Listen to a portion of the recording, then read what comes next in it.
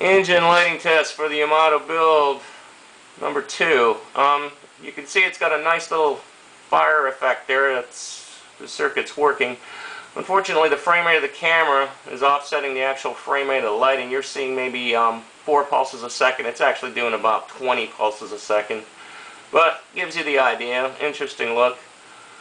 Um, the uh, thrusters on the bottom are your obviously your maneuvering and they're a steady yellow, but I thought I'd add that for a little variety.